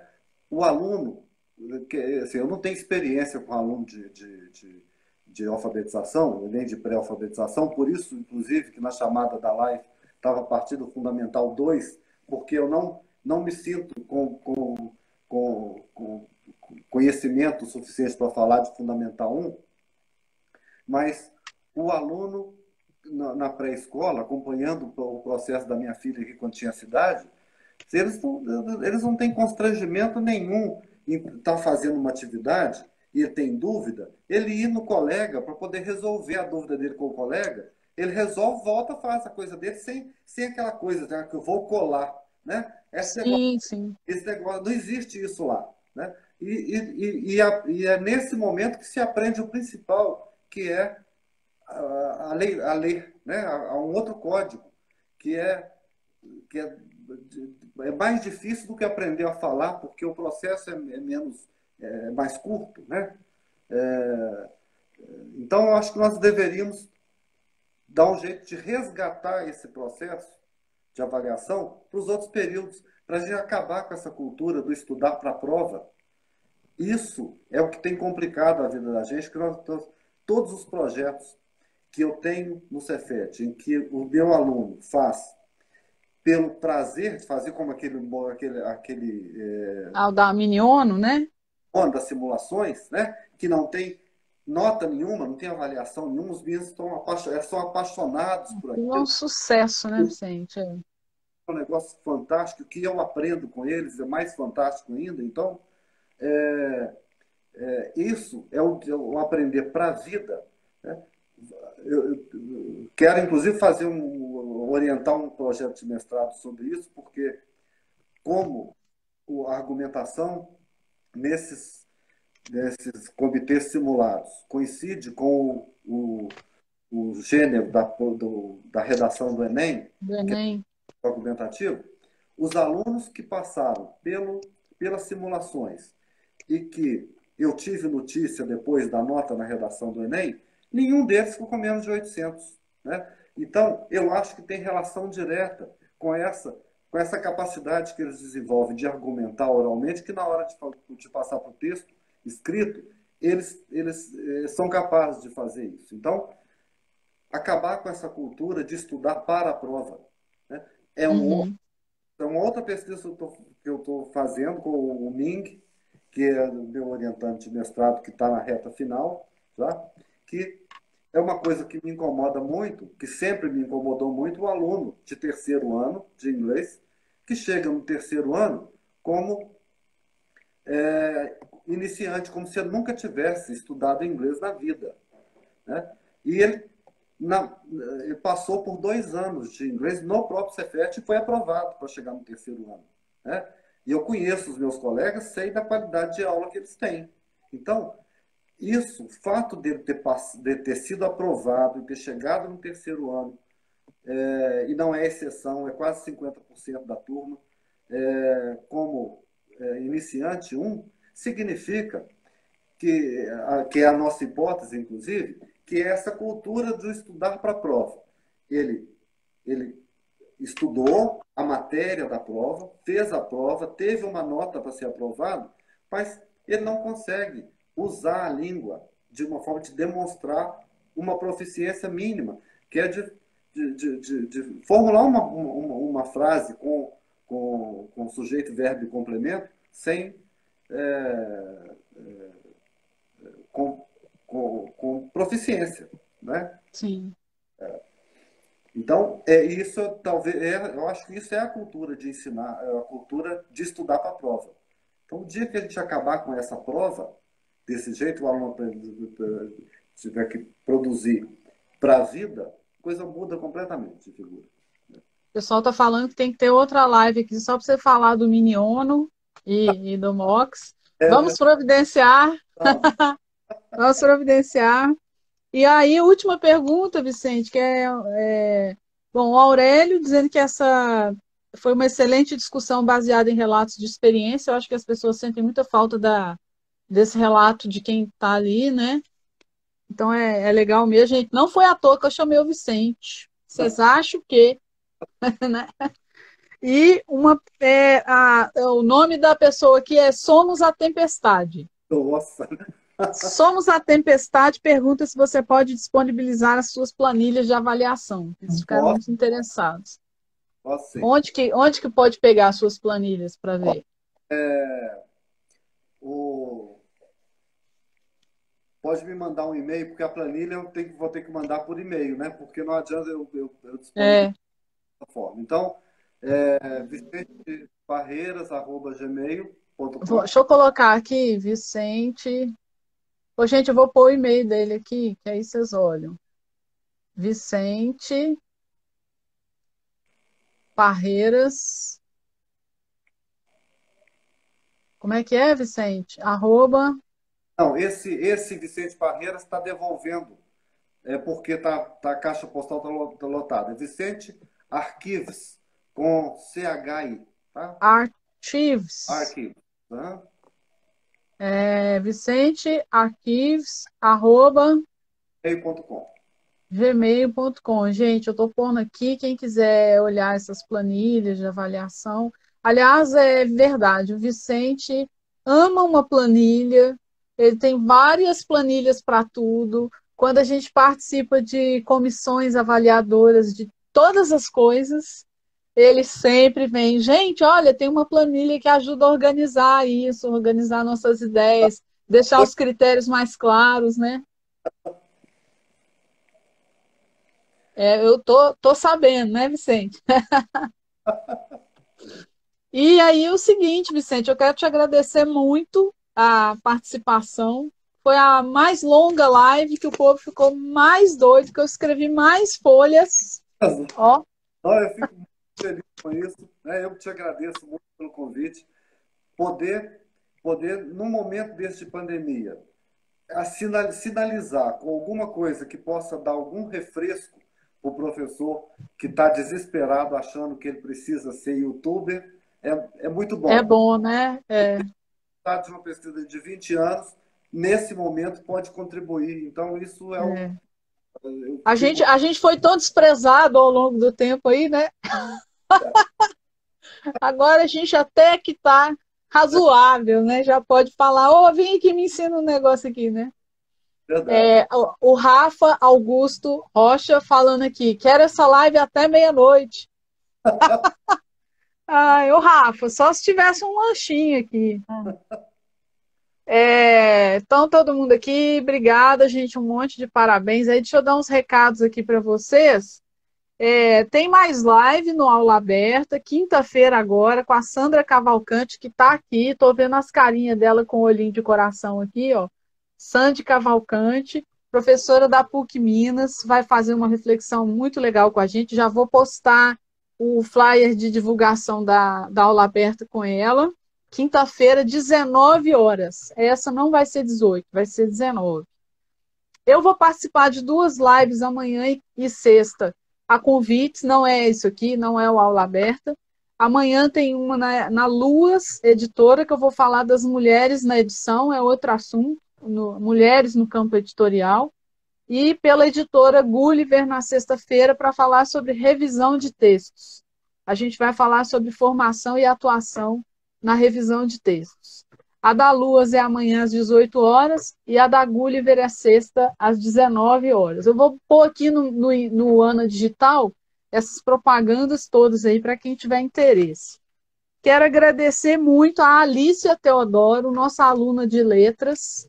Alicia, se você estiver aí, dá um oi assim, bota uma mãozinha. Alicia Teodoro é estagiária do Aula Aberta. É uma aluna maravilhosa que a gente tem lá na Letra. Você sabe, né, Vicente? Você conhece a Alicia, né? A Alicia é estagiária do Aula Aberta, me ajuda a conduzir aqui o, o, o projeto. Agora, à distância, ela que salva para a gente pôr no, no YouTube. O YouTube ainda não está disponível, mas uma hora estará. E, por favor, eu quero agradecer muitos colegas que tiveram aqui, vários que já participaram, alguns que ainda vão participar. O Michel, nosso aluno de doutorado, Michel Montandon, estava é, aqui também. Pois é, Michel vai, fa vai fazer uma live aqui no Aula Aberta. Michel é um cara do cinema, né? É, é um cara do audiovisual, mas ele fala dos vídeos artesanais. E o Michel vai fazer uma live falando para a gente de fazer vídeo. Nossa, Também é um negócio super prático, assim, né? E então vai ser muito legal. Fiquem de olho que a gente divulga aqui os, os horários, dias e tal. Muito obrigada, Vicente. Eu que agradeço muitíssimo. Deixa eu dar um recado também. Os meus alunos, Pode dar. Meus alunos da disciplina à distância, vou abrir a sala de aula agora. Nós estamos mais meia hora atrasados para nossa aula. A culpa não é minha, não. Não, é ótimo, ótimo. Muito obrigado. Então, eu que agradeço, Vicente. Papo ótimo. Estou à disposição pelo e-mail que foi dado aí também, né, pelo, pelas redes sociais. Vou ter muito prazer em conversar com o professor do Brasil inteiro. É, tem gente do país inteiro aqui mesmo, de norte a sul. Obrigada, viu, gente? Até a próxima. É. Tchau, até mais, Vicente. Tchau.